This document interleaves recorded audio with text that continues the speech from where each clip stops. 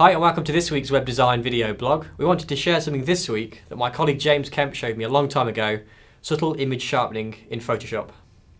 If you're regularly saving images for web in Photoshop, then it's worth watching this simple technique that allows you to sharpen the image, but control by how much.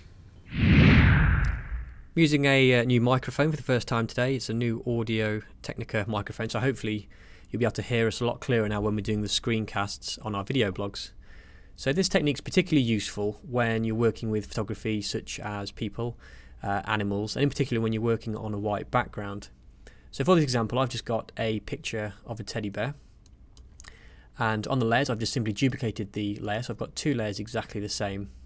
Now on this uh, duplicated layer, I'm going to go to Filter, Other, and then High Pass.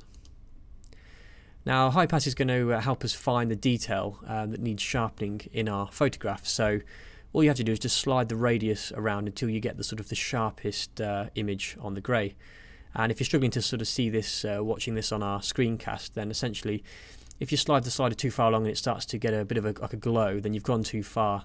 You want to be around the sort of one pixel radius. So let's uh, push OK and set that. What we're then going to do is using the uh, layer effects, we're going to uh, go down to hard light, which will burn these, this new sort of uh, uh layer onto our original layer. Now, it's probably going to be very difficult for you to see this again watching this on our screencast. Um, but if I sort of now chop um, half of this uh, this layer off, you should hopefully be able to see the difference between uh, the sharpened image using the high pass method compared to the original photograph. So let's just sort of chop half this layer off. And I don't know whether you can see the difference. Obviously the left is the original photograph and the right hand side of the image is our sharpened photograph, which in my opinion looks uh, looks a lot better. Um, I'll also obviously upload this uh, this sort of finished JPEG on the supporting blog post so that you can actually see it uh, properly um, and not on this uh, screencast video.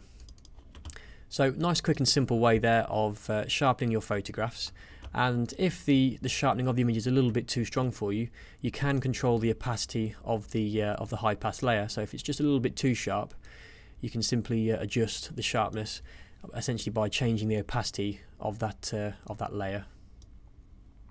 Thank you for watching this week's video. Next week we'll be talking about the best ways to redirect old web pages using 301 redirects.